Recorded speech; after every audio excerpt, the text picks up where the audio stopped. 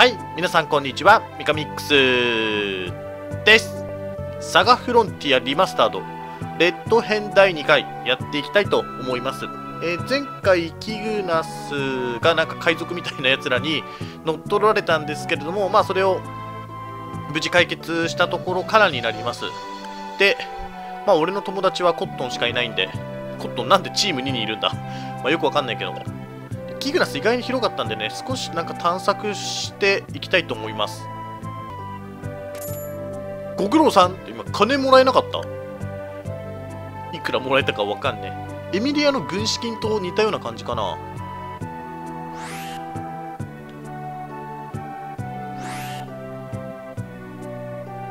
ロボットがいる。異常発見特殊な、それ以上言うな。絶対喋るな。もし喋ったらお前をぶっ壊す。俺のそばから離れるな。離れたらぶっ壊す。内容が不正ですが、私も壊されたくはありません。命令に従います。こいつもともとさ、なんでここにいたの ?BJ&K。ま、そのまんまだね。ヒットポイントが120。まあ、特になんか、ちょっと持ってるわけじゃないんで。あー、でもなんかつけるか。レッド、ペントドラゴンはもういらないな。レーザー砲が強いんだけど、ちょっとすぐ技ポイントがなくなっちゃうんで、ペントドラゴンつけて145、プロテクターもつけるか。精霊源100も上がんね。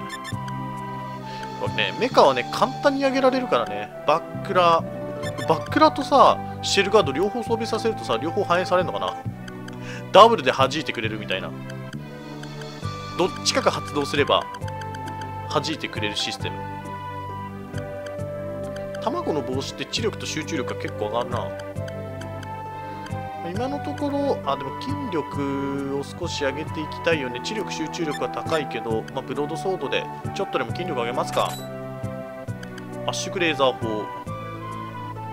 マグニファイ。マグニファイ装備時のみ使用可能。攻撃力50は結構強いな。メカ以外を治療するためのキット。メカニカルボディ基本となるこれ外せないよね。外せない。まあいいや、仲間が増えたのは頼もしい限りだ。まあ他は特になんかなさそうなんで、このまま発進しましょう。いや、レッド編ほんとなんかきついからね。まあ今までさ、ステータス引き継いできたからぬるゲーだったけど、普通にやるとやっぱり、サガフロンティア難しいわ。クーロン。レッドはブラッククロスの情報を求めて歩き回っていた。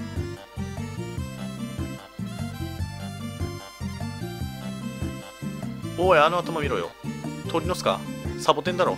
はっはっは。サボテンくん遊んでかない？おい俺が遊んでやるって言ってんのなんとか言えよ。そんな言い方したらビビって逃げちゃうよ。弱虫くんなんだから。はっはっは。昔の俺なら蹴り入れてたな。俺も大人になったっていうことか。だそうです。でどこ行けばいいんだ？普通に裏路地に来ちゃったけど。まあちょっと行くか。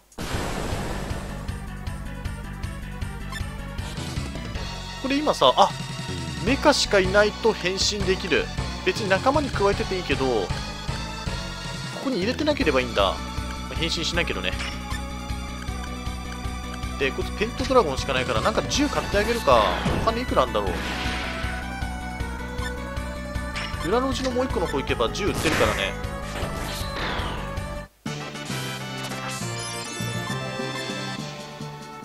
いくら ?2200 円か。まあ、せっかくだからコットンも入れとこう。通常時は別に変身しないからね。コットンも鍛えていこう。こいつそこそこだなハービー。吸収したい。えあなんだ？モンスターがひらめいたのかと思った全然違った。ハービースパイダーネットはいらない。一応ヌサカーンにあっておくか。意味はないと思うけど。意味ないね。金はもらっておこう。また戻ってきた。サボテンくん戻ってきたよ。あちゃんとくんなんて言ってんだ。あ役やってんだ。お？なんだ？飛ばされた。やめろ。女には手を出すな。デッドエンド。イエティなんだ。パンククラッシュがある。強い。一発で殺した。即死が働いたな。イエティ吸収しよう。パンククラッシュ結構強いからね。妖怪切らねえな。岩石。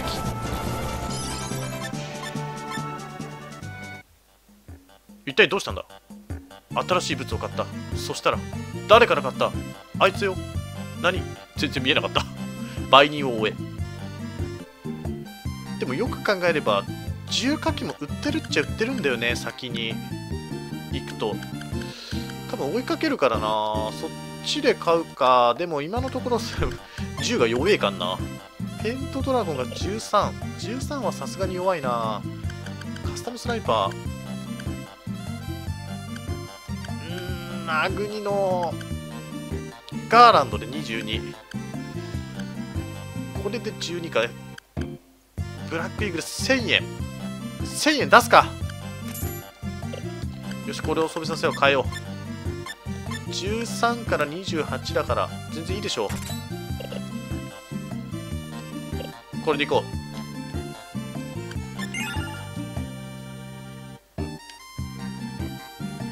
う。裏路地。あ普通に行けばいいのかな。結構いいの落っこってたりするからね。あいるあいつが。消えた。おえ。200円モンスターが暗闇になってるから変身できんだけど。なかなか芸が細かいってか変身しちゃったらさステータス上がんないじゃん。変身がさ解かれたところ見られない？ヒートスマッシュ。でここで裏メモリーボードを買っておきましょう。追加メモリーボード。トリニティからの横の発信なんかある？あマシンバルカンか。1500円。攻撃力は強いんだけどな。誘導式命中率が高い。破壊光線銃とか。なんかここら辺が良かったけど。火炎放射器で1800円か。33まあまあだな。今の？ブラックイーグルが28か。まあいっかこれで。ちょっと金がないっす。いた。おえ。逃げるな。キグナスの中ならこっちのもんだぜ。この中で戦闘を繰り広げるのか？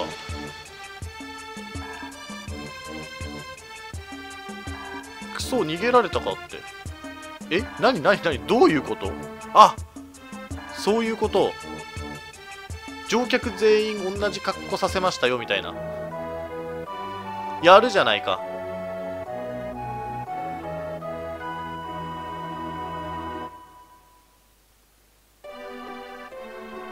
逃げられたか。金もらいに行こう。今が2300、2400円だとして。え？全然もらえなくね？200円しかもらえねえんだけど。もういいや次へ行こう。結構俺も強くなったからね。ただ雨の村雲の剣もそこまで強い剣じゃないかな。序盤はいいかもしんないけど中盤からはきつくなってくるからな。今日。どこ行けばいいんだ？お土産。なんかある？舞踏機か。今何装備してたっけ？コットンシャツだもんね。だったら舞踏機でよくないか。ちょちょちょ買え。200円か。さっきの200円が全部これになるな。精霊石ってどんくらい当たるんだろう？敵全体にダメージを与えます。30円で買えるんだったらなんか最初の方とか強ければ使えるんだけどえっ、ー、とコットンシャツを舞踏着に変えよう。はい。でこいつはもうすでに装備するもんがないからな。クーロン行った時に金があればねパワードスーツも変えたんだけどショインあれ？なんかいる。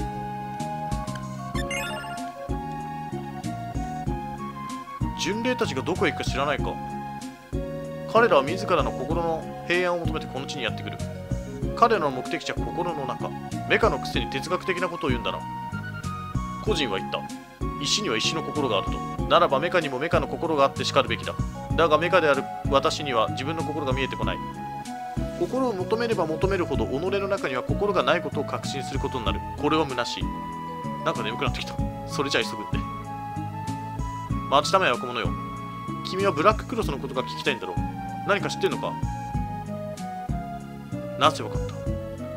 自分の心は見えずとも他人の心は読みやすい。ブラッククロスには4人の幹部がいる。四天王などと呼ばれ己を見失った愚か者揃いだ。四天王。もっと詳しく教えてくれ。くそこんな時に。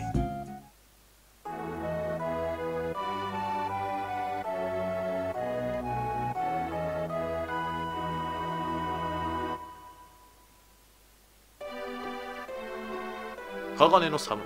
これまた金もらえるのかな？ご苦労さん。何もしてないけどね。じゃあ次行こう。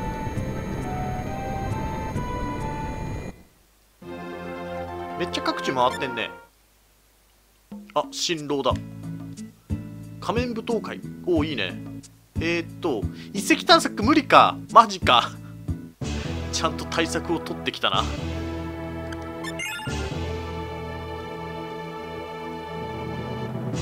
え俺仮面なんて持ってないんだけどそもそも。出れなくね？ちょいけないし。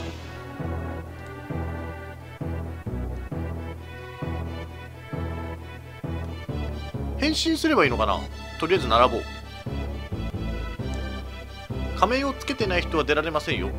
変身して出場。ちょっと待ってて。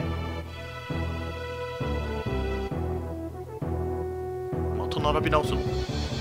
リングネームは？レレレレレですね。ってなんだそれ。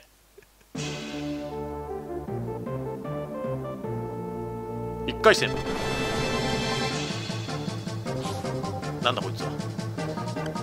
レイブレード。ブライトナックル。なんか覚えねえかな。800で倒せない。んだ強いね。てか強い。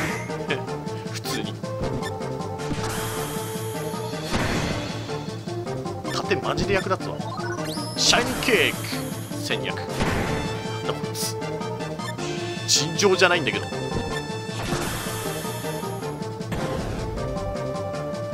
っちもダメージは食らってないけどさ。こっち進んでいける予感がしないんだけど。1回戦でこんな苦戦してたら。いたね。シャイニングキック。キック無シャイニングキックでは。キックの差があるんだよ。3回戦。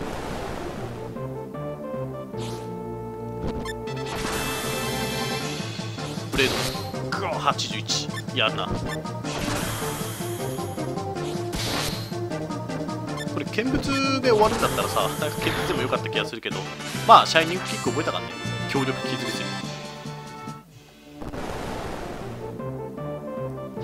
げっ仮面の不死こいつ四天王の一人じゃん。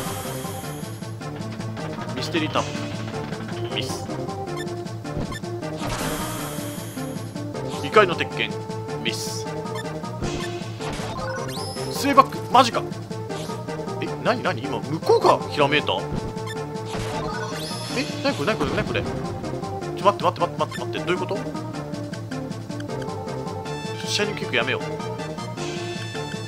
デッドエンドお前を殺す。ゲッ T フレクト。いい勝負じゃないか。払い車にしよう。何完全に見切ってきてんなこいつ。どうすればいい？結界石じゃなくて整列石使ってみよう。500そこそこ。195やりおるわ。アンラッキーコイン。マヒバリゲーライデンパワーボムどんどん強くなってんだけど。え確実に見切られてんな。当たんなくね？これは負け戦か。死んだ。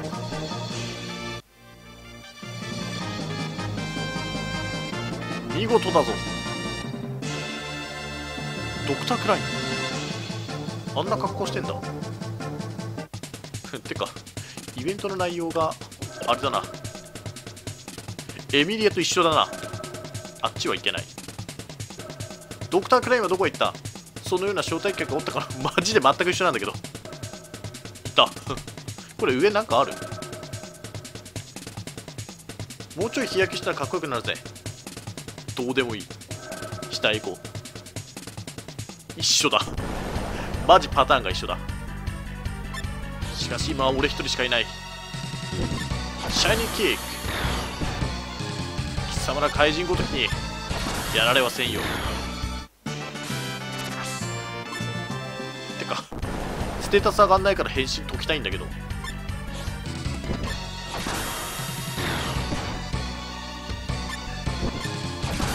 ザコが突っ込んでろ。でここでしょ？一緒。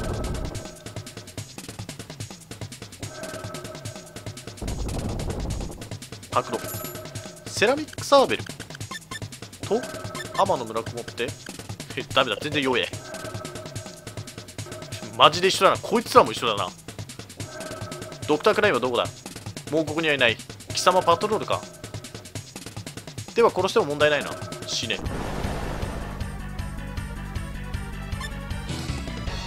死ぬのは貴様だ。8弱い。雑魚だな。まずは戦闘員から倒す。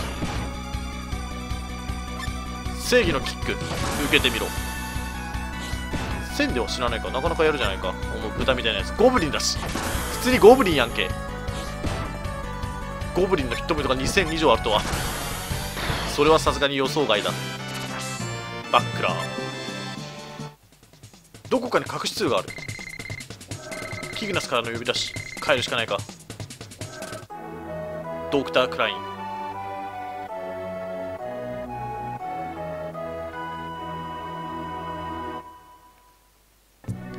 金くれ。次。何？もしかして降りる？ホーク。俺キグナス降りる。やはり行くか。世話になったよ。ユリアには行ったのか。いやなんか照れくさいし。そうだな。二度と会えないわけでもない。頑張れよ。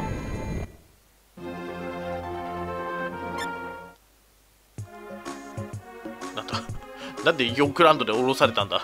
よくわかんねえや。えマジでわかんねえ。クーロンへ帰こう。から本当にフリーなのかな？そしたらまた仲間集めだよね。ドゥバンとか行ってさ。えー、そういう感じ？てかどこへ行けばいいのかが分かんないんだけどそもそも。まあ例によってドゥバン行こう。でカードもらって。T260G を仲間にしよう。情報なし。仲間にできねえし。で今回はジャンクアサリやります普通に。で買うでしょ？600高買う。で適当に3つやってインスタントキットリジットレザー。リジットレザー。で売る。でハイペリオン。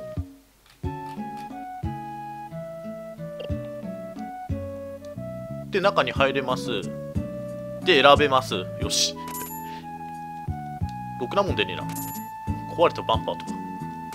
コンバットスーツ。って言ってちょっと漁っていきましょう。まあとりあえずこんなもんでいいかな。ここまで来るとちょっと品物的に微妙かもしれないね。いっちゃん最初にやるのはいいかもしれないけどとりあえず武人の鎧は強いんで装備しておきましょう。でえっ、ー、と牙のお守りもな。腕力上がるからね。これなんかいいやつがあればいいんだけど精霊銀。状態上が下がんな。状態上結構重要だからな。まあこれでいいや。で剣はやっぱりサムライブレードとかなんか高周波とかあったけど 今んとこ雨の村雲が一番強い。でブラックイーグルだったら手に入れたアグニを装備させましょう。でプロテクターもここはえっ、ー、と無人の鎧を装備させてガードを固める。シェルガード。だったらシェルガードだね。この3つがあるからねちょっと装備欄が圧迫されちゃってんだけど BJ&K は。まあとりあえずこれでいきますか。とりあえずゲンさんは仲間にしておきましょう。スクラップさっき言ったけどね。これ聞いてなかった。ではゲンさん。あんたがゲンか。若津城への案内を頼む。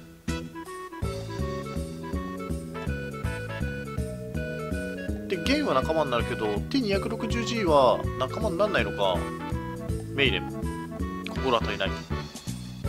美味しいの。竜とは仲間になるはず。こいつはマジでねコミュ力が高すぎるから。ブラッククロスをぶっ潰す。面白そうだな。連れていく、まあ、別に今回引き継いでるわけじゃないんでゲンも竜ともちょっと弱い。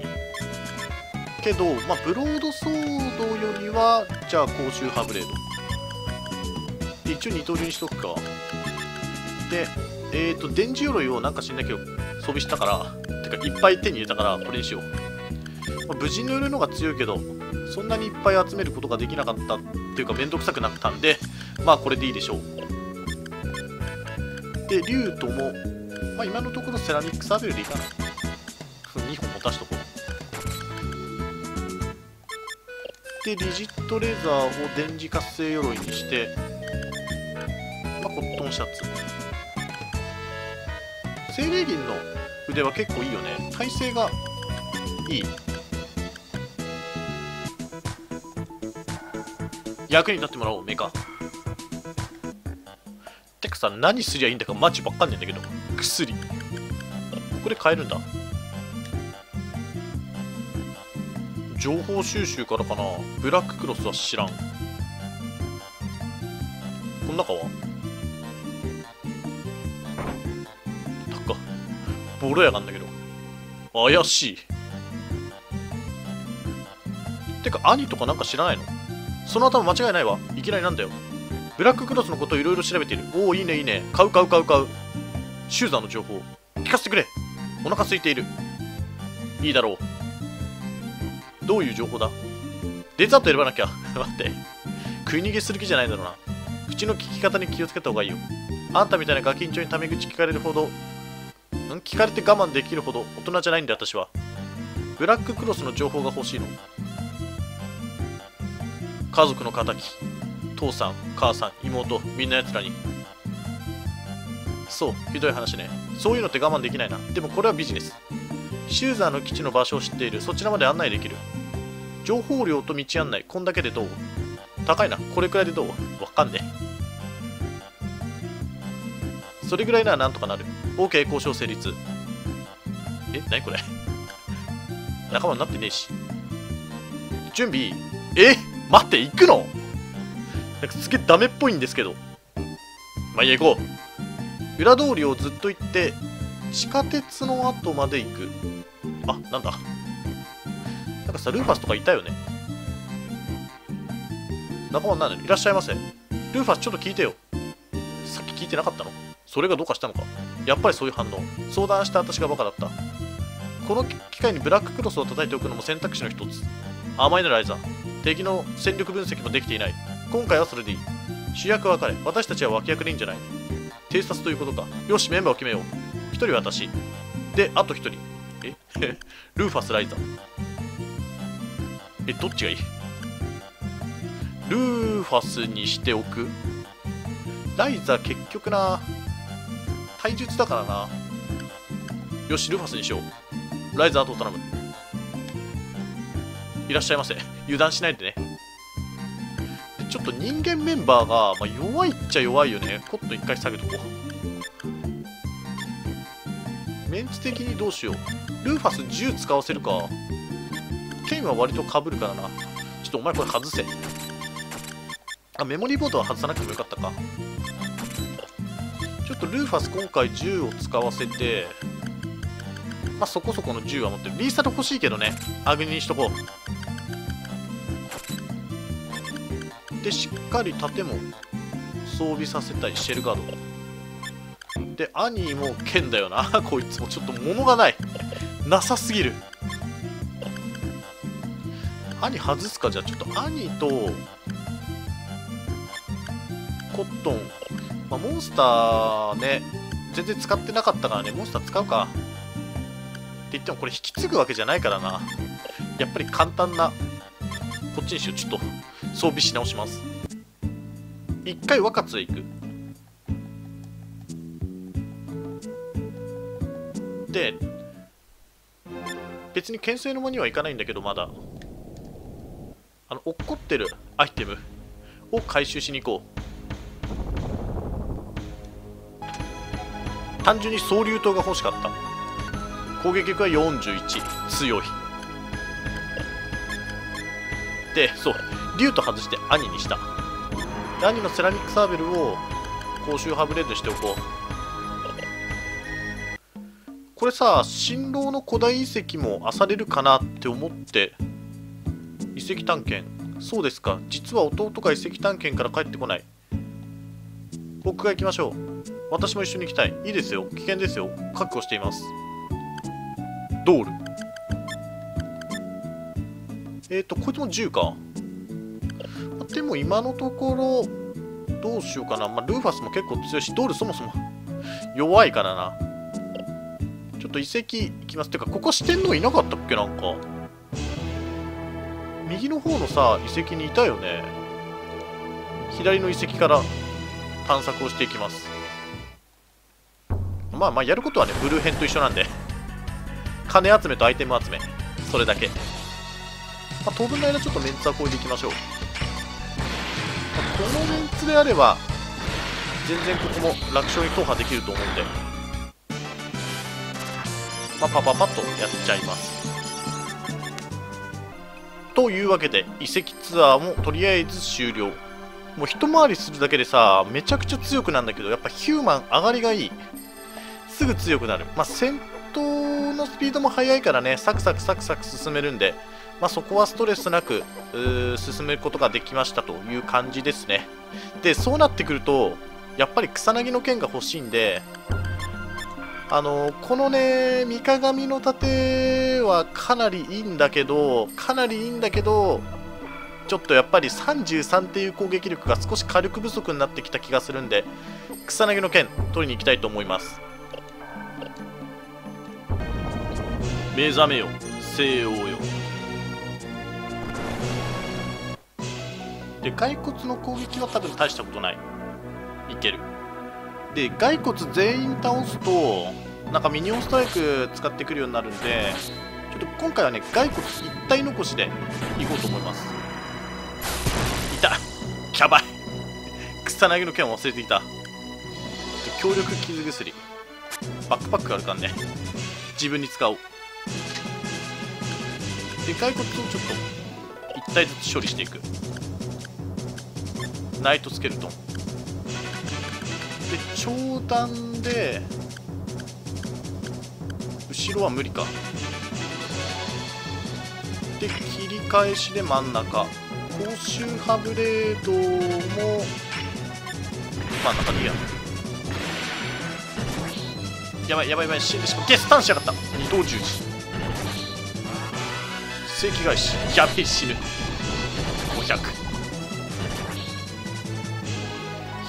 55まあまあだな。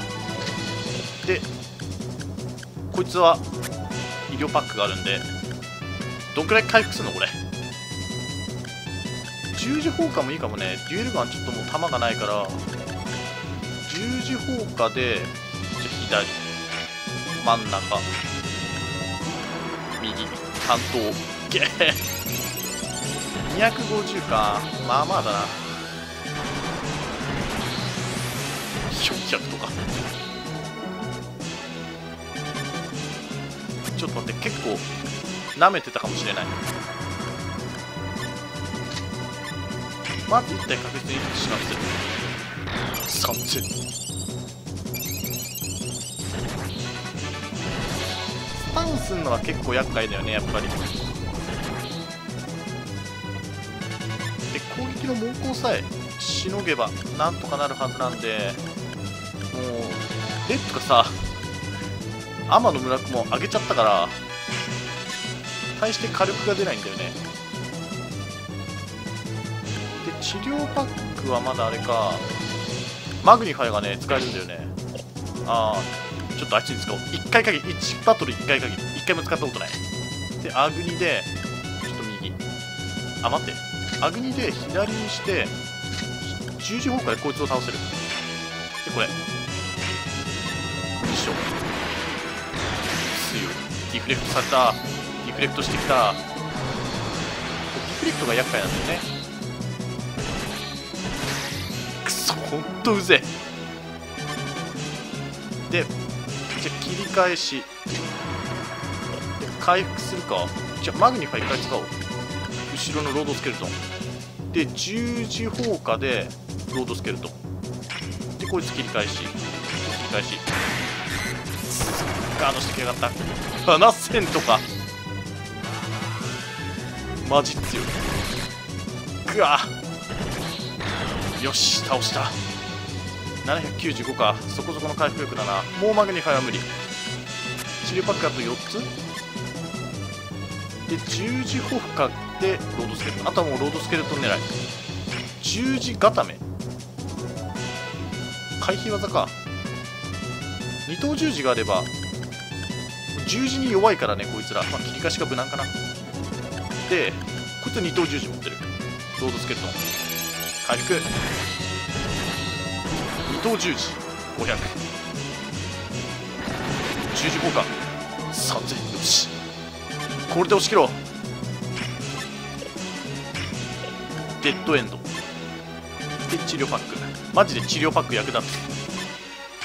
すごい回復するわけじゃないんだけどまあまあまあかなっていう。十字砲火ガードされるときついよな。デッドエンド3加速性がちょっと待って。あんまりさやつに攻撃しないでほしいんだけど。でルーファスが若干か。回復させとこう。余裕を持って。十字砲火二等十字よし当たった。消えよいややっぱなかなか強いね。多分骸骨全員倒してたら倒せなかったな。負けた好きにしろ。何回5せ草薙の剣。よしこれで火力アップ。レッドの火力がアップ。草薙の剣を装備させます。66いいね。盾もなくなっちゃったから。持ってねえ。いやなかなか失ったものもでかいけど得たものもでかい攻撃に転ずるというわけで、まあ、戦力の方はだいぶ整ったと思いますので、まあ、次回はクーロンの裏路地にいるというシューザーを追ってやっていきたいと思います。えー、今回はこれで終了します。最後までご視聴ありがとうございました。チャンネル登録、Twitter のフォローしていただければ幸いです。